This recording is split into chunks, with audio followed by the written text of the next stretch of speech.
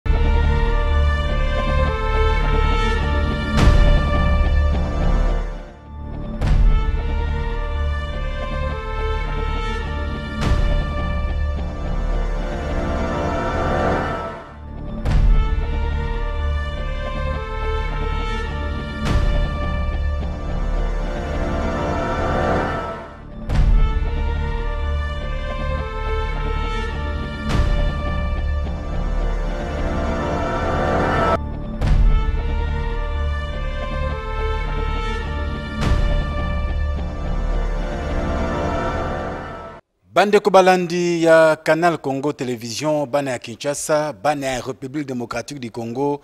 topesi bino mpenza mbote mpe totondi bino botondi mpamba te toyei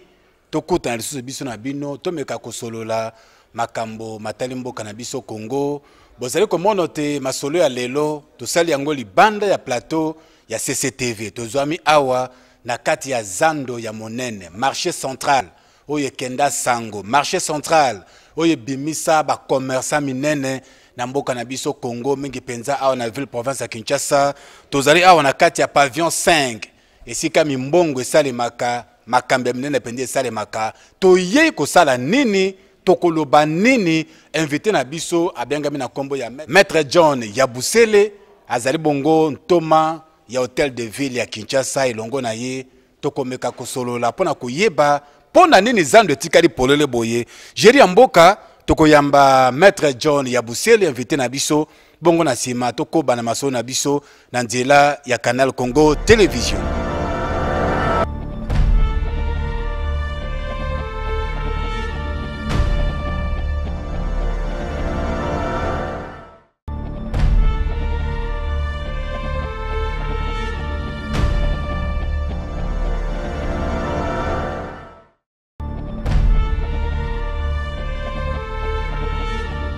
ya solo bandeko balandi ya canal congo television nakanisi mobiangami wa biso asili bongo kokoma bomoni ye ndenge akiti atiki misala mia ye baoccupation na ye ayei mpo te elongo na biso tokoka bongo kosolola na ntina ya misala oyo ezali kosalema na marche central ya Kinshasa.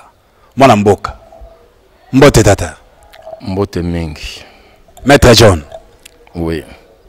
Bonne santé. Oui, santé ça va. Nangolo Nzambe. Hein. Nangolo Nzambe ka ça va. Nangolo Nzambe ça va. Bon, vous comprenez que invité na nga melinga ata na mwana na mwa mbinga mais na melami likambo ta mokili ezaka ndenge wana. Elongo na maître John akomeka koyebisa biso koexplike biso makambo nini ezali koleka na marché central ata koconfinement yango ata moto moko te na kati ya zando mpo na nini misala esalami kaka na ntango oyo na kati ya marché central maître john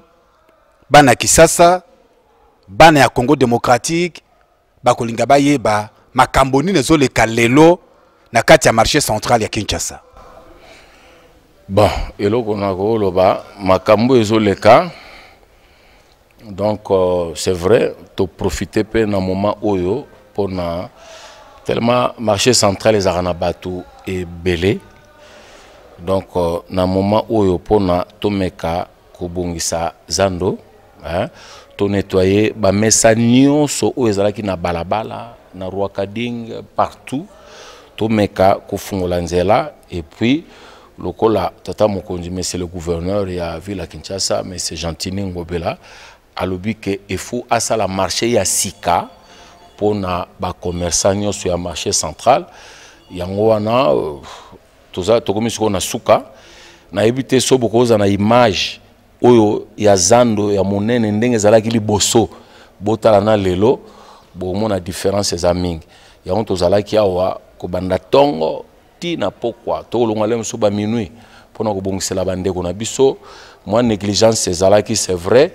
moni bamesa nyonso omoni na bapavillon ebanda omonana lisusu te ezalaki kaka bamesa tii na likolo kuna nzela boye ezalaki te donc mwe mwe oleka na bapavion ezalaki te yango wana omoni tonetoye tolongoli basalite badeshe nyonso oyo tofungoli banzela soko gouverneur alingi atonga bapavion ya sika mpo na bandeko na biso bacommerçant ya marché central maître john mosala bosala obengi bonetoye bobuki to bo nettoyer ah merci euh, tala nanu mesa babuki ezalaka boye bato bayebi marché central baomona eloko moko ebukani te toyoki bato mosusu balobi ke tobuki bakioske tala bakioske nyonso omoni eza na bakadena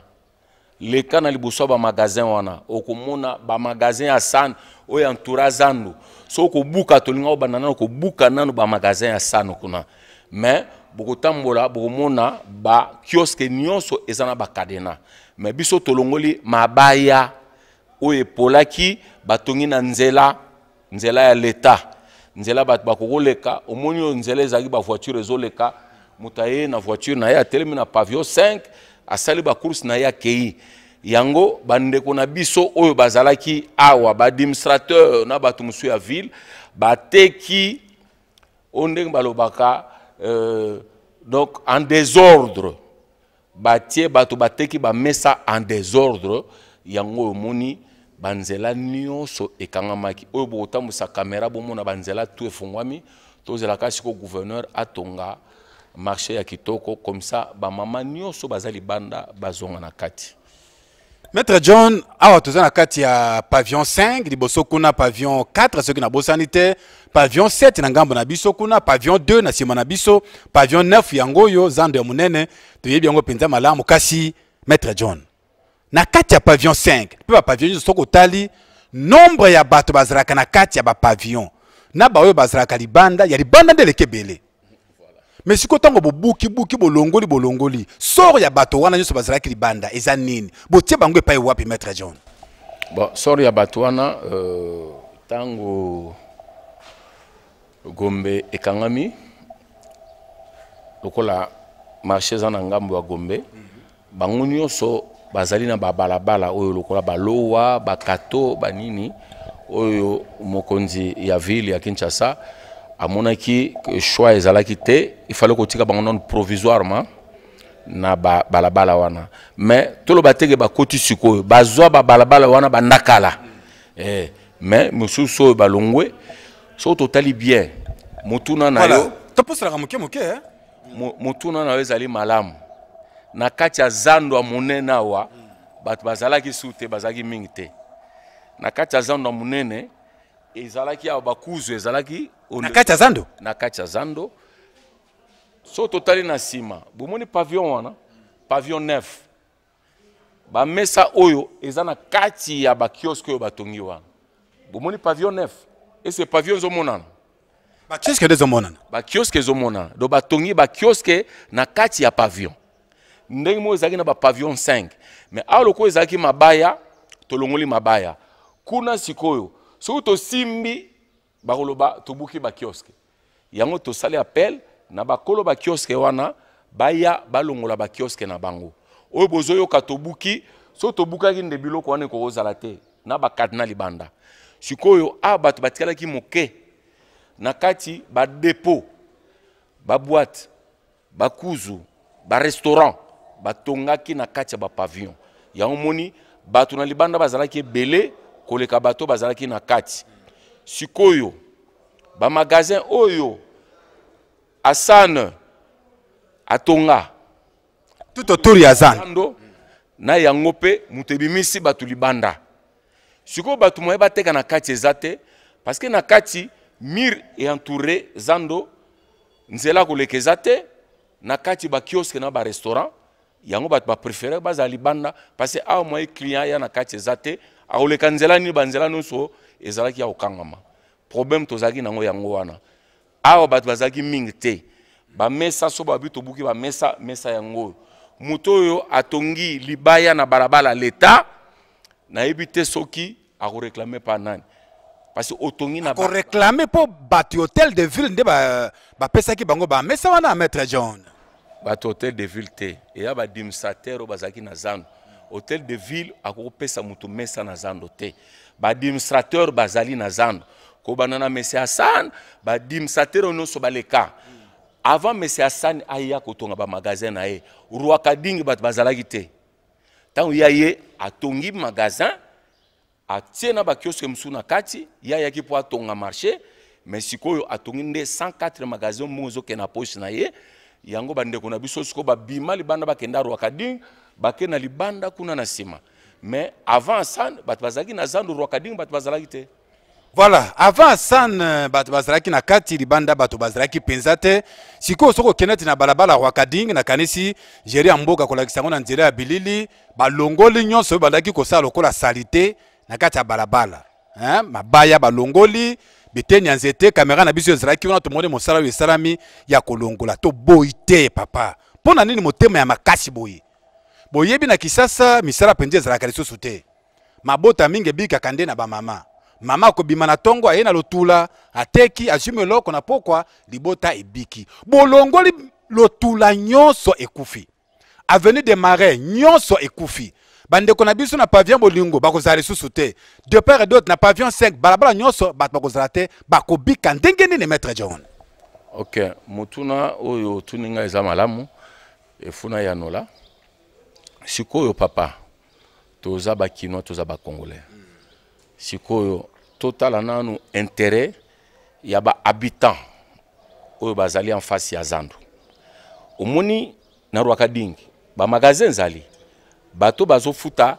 impôt na bango na taxe baza na magasin yo oye koteka liboso ya bamagasin ya bato mosusu baofuta taxe baza na nsima na yo baofuta impôt totali le marin totali de l'école totali avenue du plateau totali lowa luvua bato basomba balopango na bango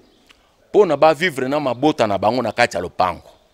sikoyo moto asombi lopango na lowa mwaye abima liboso ya lopango na ye eza te motuka mwaye ekɔta na lopango eza te toilette etondi Maman moko azolela pendant 8 ans et demi, toilette etonda, moyen bloco eya kolongola ba salite ezali te. Ba commerçants bakangi nzela. Bakangi nzela batie zando na balabala. Zando batie na lowa bakato liboso ya bandako ya bato. okoki mpe koloba te tata moko apikaki crise ya tension moye voiture ekota ya kozwa ye eza te bamema ye na bana na maboko papa kata motema na nzela telema ntango alaki ebele ntango bopusa bato bokende papa akati motema na nzela sikoyo towela intérêt ya ba habitants oyo baza tout autour ya zando ube towela intérêt ya bamama oyo batiki zando ya monene awa espace na kati bake koteka liboso ya bandako ya bato towela intérêt ya nani lokola gouverneur azali gouverneur ya ville ya kinshasa mpona tout le monde ntango bato baleli akosala nini aloba non abengaki babourgmestre nyonso ya zone ya kinshasa ya lingwala barumbu bokende na bamarché boluka baterrain oyo alantanda marché sila bamama nyonso oyo baza na balabala bokotisa bango mpona tofungola nzela ya leta je crois ke balabala lokola kato balabala lokola itaga ebandi na lingwala eke na barumbu ekoevite embouteillage ebele avenue du plateau bozomona en face ezalaki okota na mutuka oke ntina zigida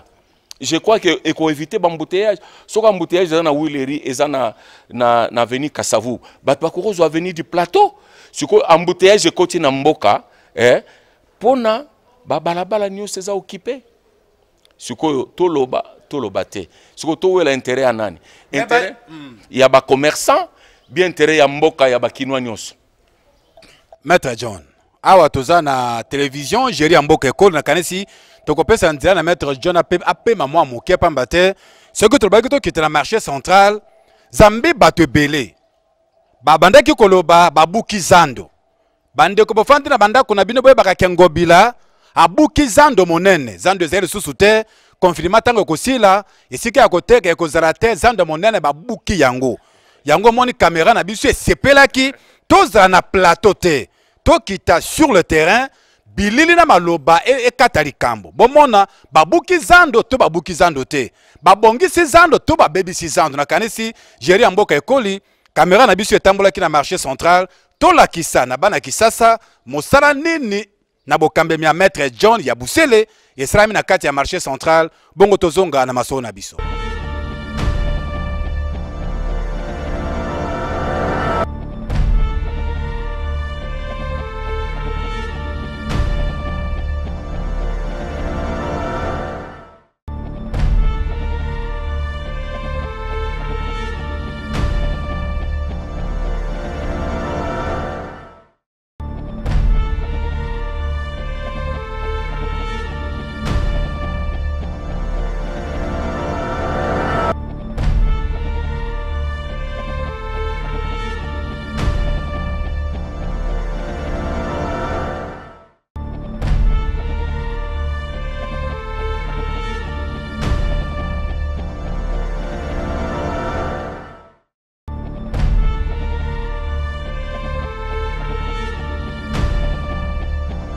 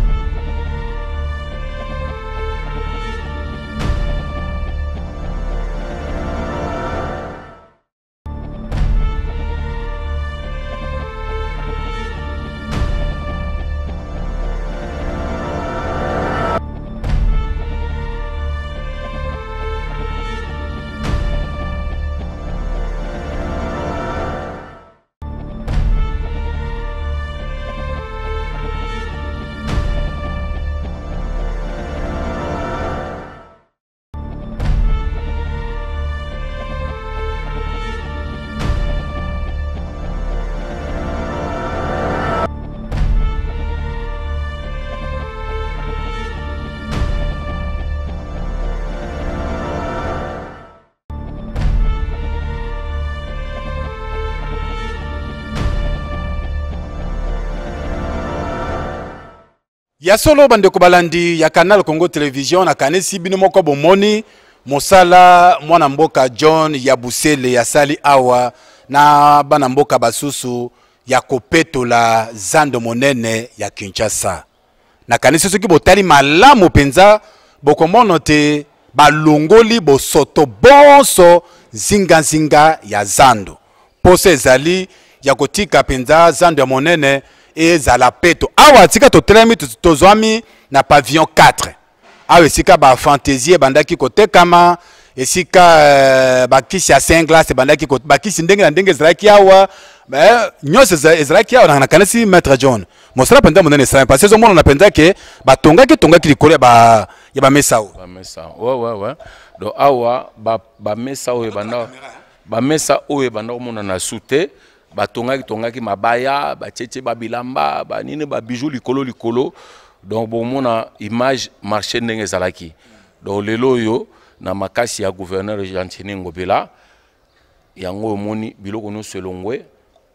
oyo oyo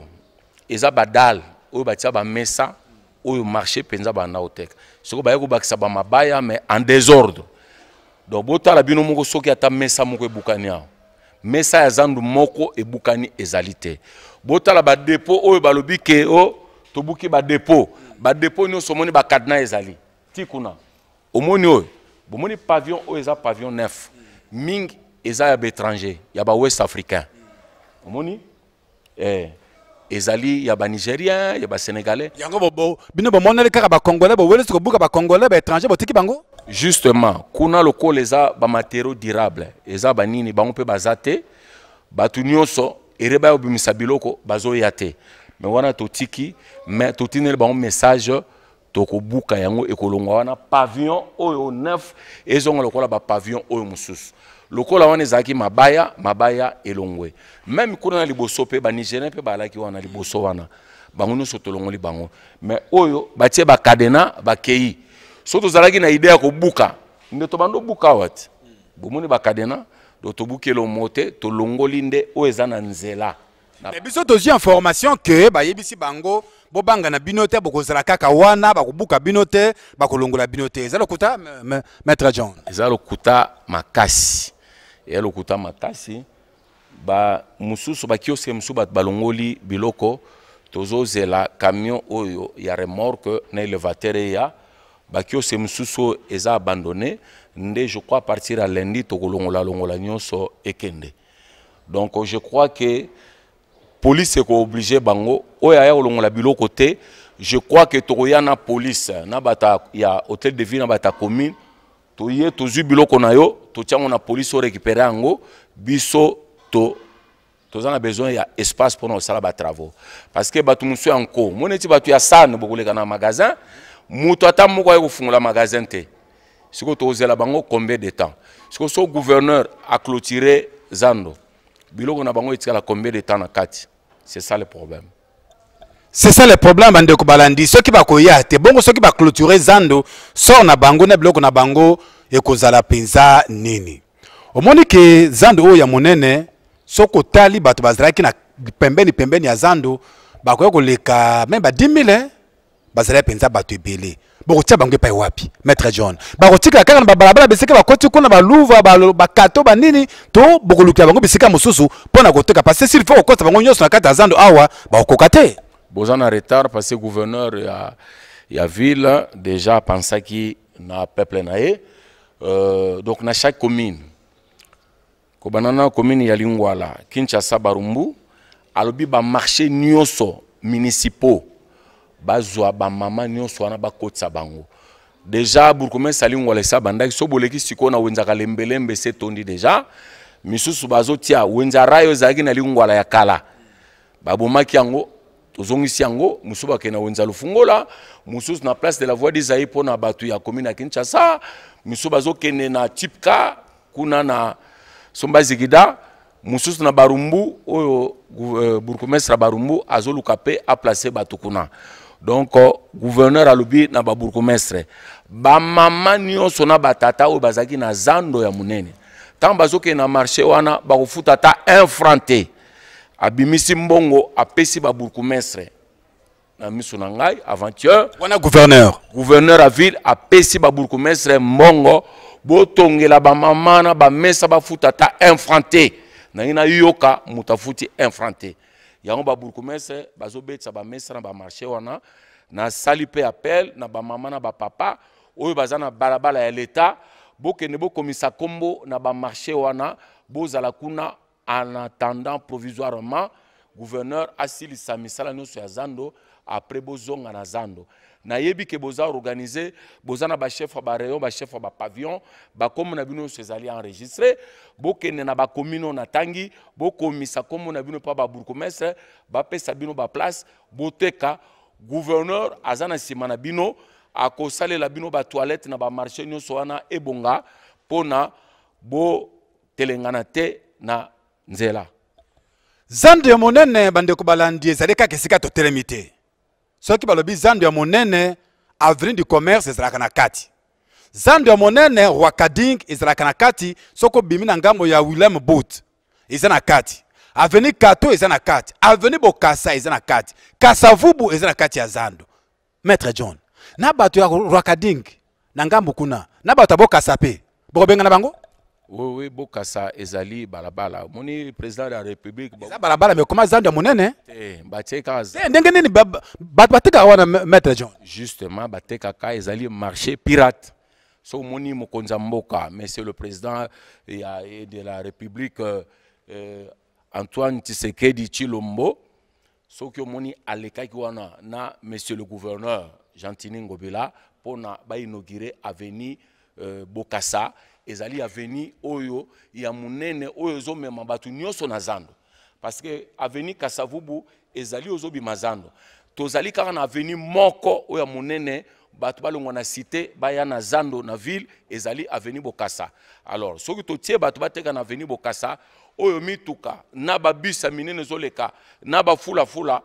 baaccident ekosalama yango na nzela wana moto akoki koteka te gouverneur abeti se te lobi epai ya bagouverneur epai ya babourgmestre moto akoki koteka na avenue bokasa te avenue oyo mituka elekaka mbango mbango ekosala baaccident Kato ndenge moko na Itaga ndenge moko na avenue Kasavubu. Bandeko balandi, ezali masolo masolo ya mboka, ezali masolo oyo ezali kosala te mboka na biso Kisasa ebonga, kasi ntango olobi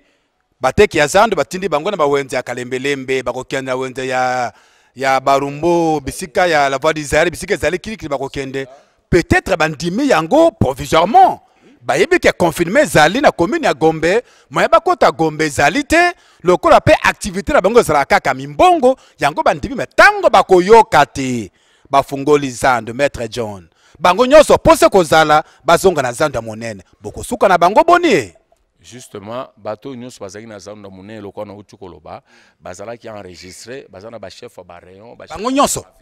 nyonso baza enregistre eza te ke moto mosusu awuti libanda lisusu aya kozwa baplace na bango mais baplace ekozala en plus parce que ndenge namoni maquette ekozala na étage et puis baplace ntango bamagasin nyonso ya sani oyo ekolongwa je crois que place ekozala mpona tout le monde nini ekozala en étage marché marché central oyo oyo ya kisasa oyo ya kisasa oyo en étage en étage ekokoma lokola poto maître john toza na télévision kalakala baloba bandaki koloba eh, le parole s'envole me mikolo oyo maloba esanvolaka lisusu te oyo tozali koloba ekotika na bilili olingi olaka biso ke marché central ekozala en étage oui selon oyo natalaki na maquette oyo gouverneur alakisi so bolingi après mission na kolakisa bino na telefone na ngai bomona maquette bafrançais moto bazotonga marché oyo central donc bazotonga yango très bientôt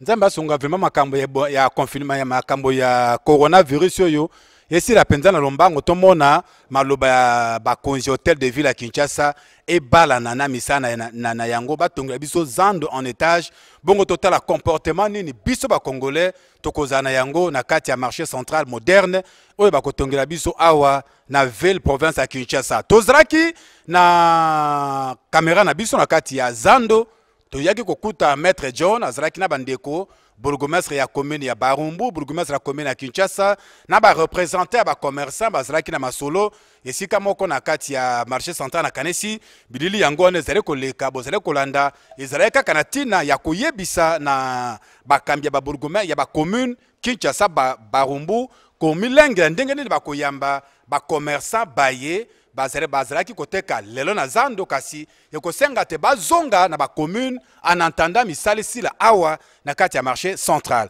concernant makambo ya misala maître ekozwa pe près ntango boni ata koconfirme yango mpe ezali misala wapi ya kosala na kati ya zando mpo bandeko bazonga ba su koteka bakozela ti batonga zando en, en étage be ndenge nini bon misala comme lelo oyo yo ozotonga ndako koyebisa bato te ndako na osisa yango dans deux semaines bien dans un mois ça dépend ndenge misala ekosalama mais mpo na ngai ça peut prendre deux mois ou trois mois nayebi bato wana bafrançais wana nayebi bango kobanda na france nayebi vraiment ntango batongaka ekendaka mwa lombango eh? eumelaka mingi te baza na bamateriele na bango na minute oyo na kasi ese ekomi na matadi ekowumela te ekokende vraiment lombango nayebi ke koumela te ngai nazomona peu près 3 mois nde ngai nazomona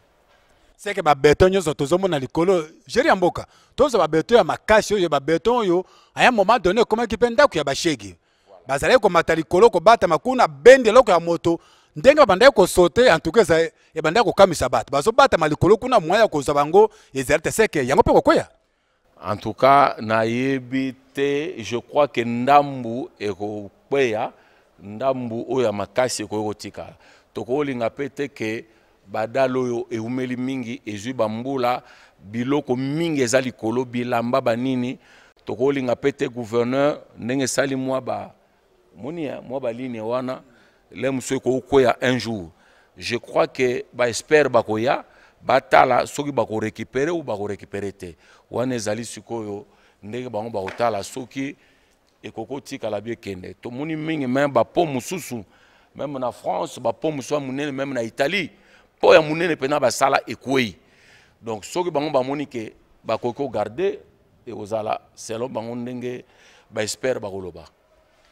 ekozala masolo ya banganga mayele oyo bakoya mpo na kobongisa misala ya kotonga zando ya monene ya congo demokratike mboka na biso tozalaka ntango nyonso na mposa makambo ezala malamu na mboka na biso tolulaka mingi makambo ndenge esalemaka na mboka ya bapaya nzokande mpo congo demokratike ekende liboso ezali kosenga te biso moko bana mboka totelema tolinga mboka na biso topose baacte ya malamu oyo kotika ya lokola bilembo ata biso toleki kasi bana na biso nsima na biso bazwa matatoli ya malamu na ntina ya misala oyo biso tosalaki ntango tozalaki na bomoi yango moni bandeko balandi alanga nzembo moko ayemba alobi nsima ya liwa na ngai naboyi bana na ngai basambwa bayoka soni na makambo ngai tata nasalaki omoni ntina bakambi ya lelo ya engumba mokonzi ya kinshasa bazwi ekateli ya kopesa na bana ya kinshasa na bana ya congo démocratique zando ya kitoko oyo ekozala lieu de refuge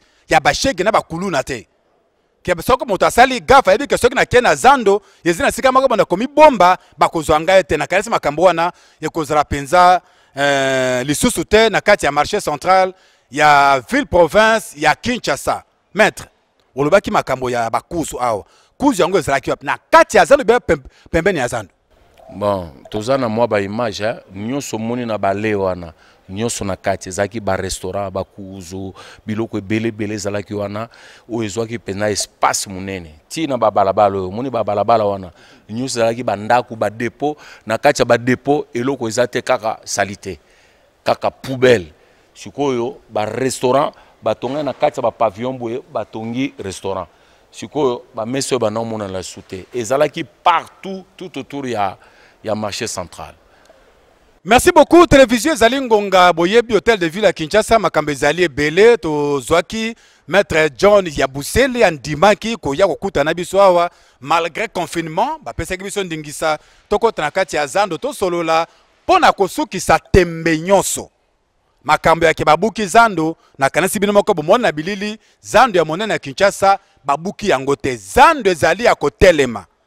mesa nyonso ya zando ezali ya kotelema oyo nyonso etongamaki na banorme na kati ya zando ezali kasi biloko ya bisalasala na pamba o oh, bakuzu o badepo ezalaki ya na ndenge ya nyamunyambo oyo bandaki kosala salite mabaya biteni ya nzete etongamaki pembeni pembeni balongoli yango mpo na kopesa espace na bana ya kisasa ntango oye na zando soit na motuka na yo to mpe na makolo ozala vraiment à l'aise na kati ya zando okoti osombi obimi na kimia nyonso mabaku mpenza ezala te nakanisi ekozala mpenza likambo ya esengo mpo na biso bana ya kinshasa maître john tokomi na suka liloba ya bokabwana na batelespectateur ekoki mpenza kozala nini bon euh, gombe je crois ke ata bamakambo oyo nyonso esili mais gombe ekozala toujours na babarrière donc n'importe qui akokota su gombe te na gombe bomona su bashege te bomona su bato batelema na boulevard te kosenge wana bazalaka bien protégé ya maître jean oyo eza kisasa nabi na yo estce oyebi combien de shege bazalaki na zando oyo plus de 100 lelo baza wapi so toresir mpona confinement nalobi na yo avant même yango bashege bazalaki su te tobanda oya kokanga bango moko moko moko bango nyonso bazalaki su te donc euh, nazo ko assurer bino ba shege na ville bakozala esu te na ville je crois ekokoma avant kota fo batuna yo okei kosala nini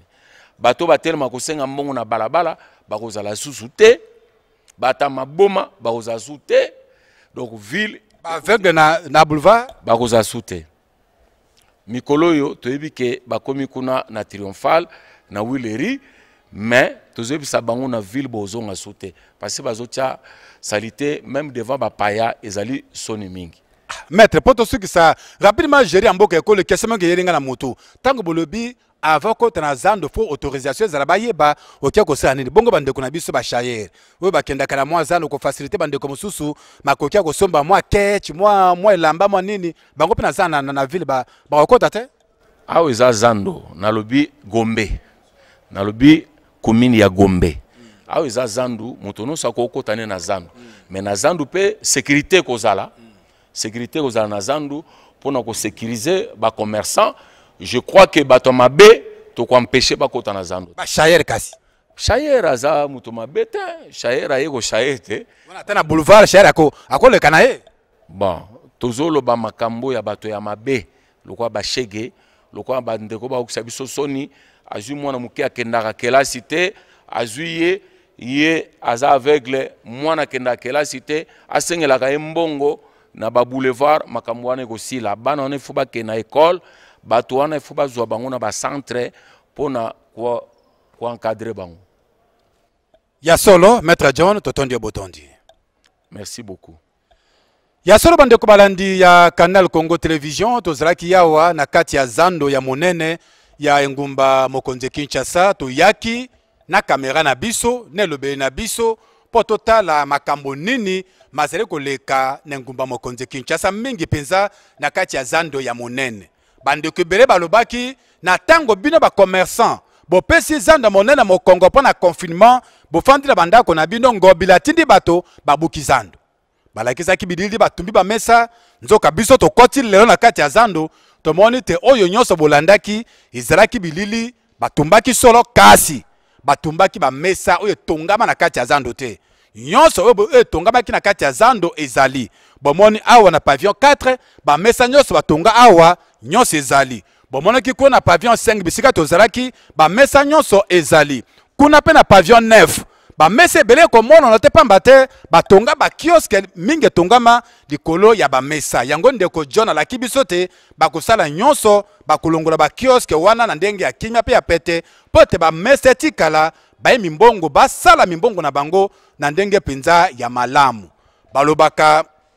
kokende liboso ezali kokoma te tolingaki biso moko tokóma na zando mpo tosukisa tembe nyonso toyeba ke zando ya monene ezali kasi likanisi ezali nde ya komodernize yango bapesa biso zando ya kitoko nayoki ete kozala okoteka esika ya kocharge telefone ezali ozali koteka esika ya kozwa mwa mai ya komela kaka esika ofandi ezali nakanisi ezali mabongisi mpenza ya kitoko oyo kosunga biso bana ya kisasa tomesana mingi kolula libanda ntango esili kokoka balingi bamemela biso makambo ya kitoko ya libanda eya mpe na kati oyo tomonako libanda eya mpe na congo demokratike mboka na biso nalobaki yango mbala eleki dans un premier temps ekosala biso pasi komona ete esika tobandaki kobika balongoli biso wana batindi biso esika mosusu ekopesa biso pasi mais mpo kongo na biso ekende liboso il faut bainitiative ya malamu ebanda quelque part tosala mwa pa moko liboso mpo na kolakisa na bana mboka